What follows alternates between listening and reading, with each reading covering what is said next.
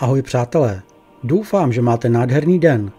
Dnešní díl se jmenuje Nový druh mosasaura, ryba velká jako autobus a želva velikosti SUV. Výkonný mlínek na maso. Mezinárodní tým výzkumníků objevil skameněliny nového druhu mosasaura jménem Xenodens kalmanchary, vyhynulého morského plaza s pilovitými zuby jako má žralok.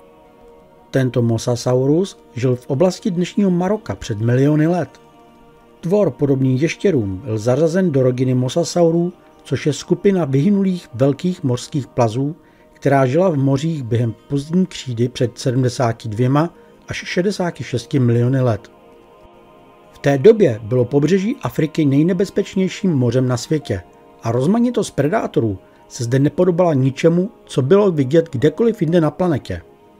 Nový Mosasaurus doplňuje rychle rostoucí seznam morských plazů známých z poslední marocké křídy, která byla v této době ponořena pod tropickým mořem. Žilo zde obrovské množství různých druhů mosasaurů. Někteří byli 20-metroví obři, kteří se potápěli hluboko za svou kořistí, jako moderní vorvani. Jiní s obrovskými zuby, dorůstající až 10 metrů, byli špičkoví predátoři jako kosatky. Další zase jedli měkkýše, a pak tu byli divní malí xenodensové. Paleontologové našli pozůstatky vyhnulého plaza ve fosfátové pánvi, která leží západně od pohoří Atlas na severu Afriky. Název vyhnulého morského plaza obsahuje dvě části. Xenodens, což v řečtině znamená podivný zub, a kalminchary, fonetický přepis jako pila v arabštině. Tento nový druh predátora měřil asi 2 metry a paleontologové věří, že jeho zuby jsou zcela jedinečné, na rozdíl od zubů jakéhokoliv známého plaza. Jeho čelisti byly doslova mlínek na maso, protože tvořili jedinečnou sadu, ve které krátké, bočně stlačené a zahnuté zuby vytvářejí pilovitý kotouč. Specializovaný chrup zahrnuje dříve neznámou strategii krmení, která pravděpodobně zahrnuje řezný pohyb používaný k vytrhávání kusu masa z velkých kořistí. Vědci se domnívají, že díky svým jedinečným zubům dokázal Xenodens zdolat kořist mnohem větší než byl sám, kterou doslova svými zuby rozřezal na kusy. Tito impozantní masožravci na Zemi žili až do konce křídového období, kdy došlo k náhlému a rychlému vyhnutí 95% všech druhů živočichů a tím také skončila vláda dinosaurů na Zemi. Doktorka Natália Bardetová z Národního přírodovědného muzea v Paříži uvedla, cituji, na mosasaurech pracuji více než 20 let, konkrétně na těch z Maroka, které dobře znám.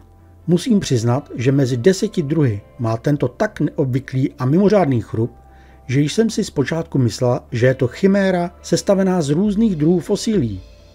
Mosasaur se žraločími zuby je nová adaptace mosasaurů, která je tak překvapivá, že vypadá jako fantastické stvoření, vytvořené z představivosti umělce. Konec citátu. Vědci nakonec prohlásili, stále se učíme, jak různorodí byli mosasauři. A kdykoliv si myslíme, že známe už všechny druhy, tak se objeví další. Lead ryba větší než autobus. Vědci se dlouho snaží vysvětlit, proč jsou kostnaté ryby tak malé.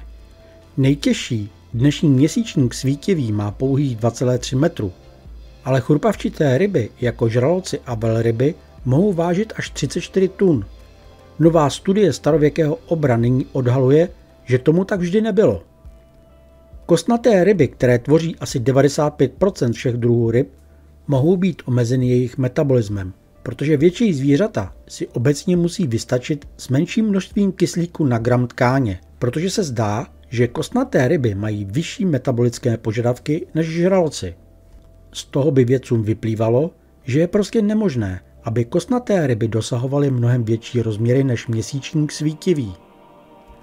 A právě tohle je klasický příklad toho, že není všechno tak, jak se učí na školách. A právě v tom nám připlouvá na scénu neuvěřitelný obr. Vyhnulý Lícictis byla obří pravěká ryba z čeledi Pachycormidae a ta je považována za dosud největší nalezenou v historii která žila v období střední jury před 165 miliony let ve všech světových oceánech. Dorůstala 20 metrů na délku, ale podle některých vědců mohla dosahovat až 30 metrů a mohla vážit 45 a více tun, což znamená, že byla mnohem větší než dnešní žralok velrybí a možná byla velká jako modrá velryba. Neví se to jistě, protože fragmenty z kamenělin neumožňují přesný odhad, ale i tak je však jasné, že šlo o gigantického živočicha. Zřejmě se často stávala kořístí velkých travých morských plazů, jako je například Liopleurodon. Lycictis však sám lovil buď pouze plankton, nebo maximálně malá hejna rybek, která polikal po tisících najednou. Takovej malý otesánek. Vědci si uvědomili, že moderní biologové vynechali starověké ryby ze své rovnice a proto se rozhodli vypočítat metabolické požadavky Lycictise. Jako vodítko použili data od živých kostnatých ryb a zjistili, že tato ryba nejenže přežila, ale i prospívala. Teoreticky by se obrovská ryba mohla plavit rychlostí 18 km za hodinu, přičemž by si stále udržovala tkáně dostatečně okysličené. Stále je záhadou, proč dnes neexistují žádné gigantické kostnaté ryby, jako byla tato, ale metabolicky řečeno není důvod, proč by neměly existovat, uzavírají vědci. A kdo ví, moře je přece jen proskoumáno z 5% a nikdo neví, kolik nových a obřích druhů je stále ještě neobjeveno. Archelon Aeschyros, největší želva historie. Její rodové jméno pochází ze starověké řecké arche, což znamená první. Chelone znamená želva a druhové jméno Aeschyros znamená mocný.